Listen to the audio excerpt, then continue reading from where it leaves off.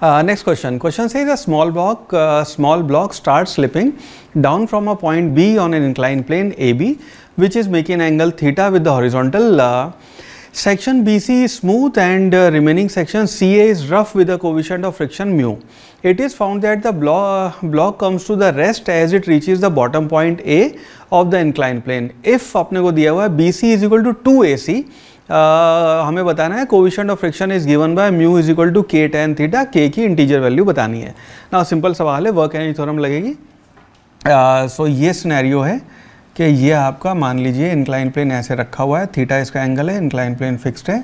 ये आपका point B है, ये आपका पॉइंट ए है, यहाँ कहीं पे आपका पॉइंट सी है, और एक ब्लॉक यहाँ से स्टार्ट करता है एम मास का यहाँ स्टार्ट करता है, ये आपका स्मूद है। एक मिनट, अपने को जो दिया हुआ है B C is equal to हाँ ठीक है।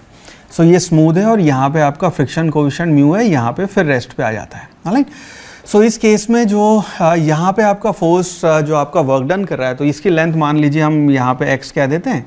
सो so, ये लेंथ आपकी 2x हो गई यहाँ से यहाँ तक और ये वाली लेंथ आपकी x है। ना इसके लिए अगर वर्क एनर्जी वाली थ्योरम हम यहाँ पे लिखेंगे तो क्योंकि आपका change in kinetic energy zero है तो हम कहेंगे वर्क डन बाय जो आपके सारे फोर्सेज लग रहे हैं वो आपका change in kinetic energy zero है तो उनका सम ज़ीरो हो जाएगा। सो so, यहाँ पर जो आपका वर्क डन हुआ है सो उसको आप लिखोगे एम जी sine theta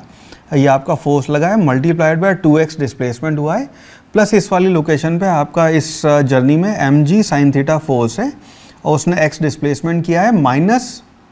mu m g cos theta ने आपका एक्स डिस्प्लेसमेंट किया now this will be equal to